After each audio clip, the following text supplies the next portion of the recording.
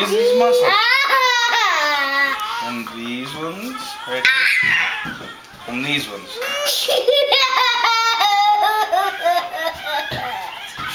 Okay, now pull yourself up. Pull with those muscles that I just showed you. Pull. Pull. Use this muscle right here.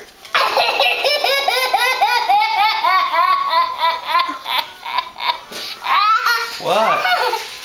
Why can't you use that muscle? It tickles. Pull. Mm. You're not even trying.